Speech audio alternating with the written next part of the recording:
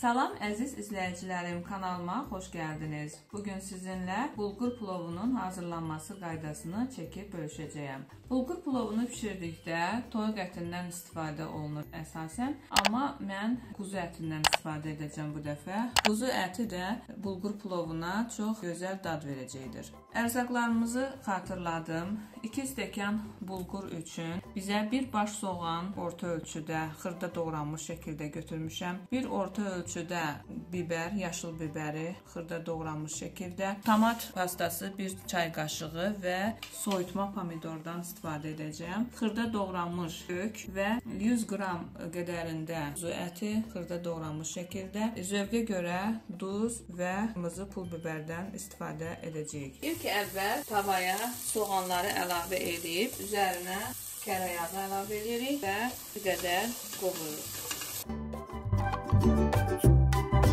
Soğanın üzərinə bir qədər duz əlavə edirik ki, qoxu yayılmasın və soğan yaxşıca ölsün.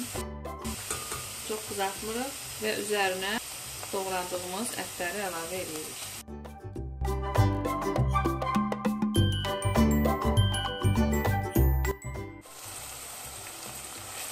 Ətlə soğan bir qədər qovurulur. Üzərinə kökü əlavə edirik və doğradığımız biberləri əlavə edirik. Yenidən bir qədər qovurulur. Tomat pastasını əlavə edirik. Soyutma pomidoru əlavə edirik. Görürsüz tərəvəzlərin rəngi necə gözəldir. Bulgur plovunun rəngi tomatın və pomidor soyutmasına görə qırmızıya çalmalıdır. Ona görə çalışın pomidoru bol edin. Zövqə görə qırmızı pul biberimizi və duzumuzu əlavə edirik. Və üzərinə 2 stəkan götürdüyümüz bulguru yaxşıca yuyuram. Sonra isə əlavə edirəm. Yaxşıca qarışdırdıqdan sonra üzərinə 2 stəkan bulgur üçün 4 stəkan qaynar su əlavə edirik. Suyu çalışın isti şəkildə əlavə eləyin.